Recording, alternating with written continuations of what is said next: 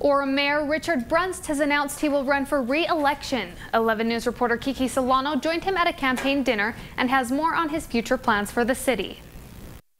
Mayor Brunst was first elected in 2014. He feels he solved some of the city's issues. Last night, local business owners, city council members, and Utah Governor Gary Herbert joined him at Tucanos. The mayor says since he's been in office, new stores have opened up in University Mall and on State Street. And sales are up for some of these stores. One concern he wants to solve is Orem's high density living issue.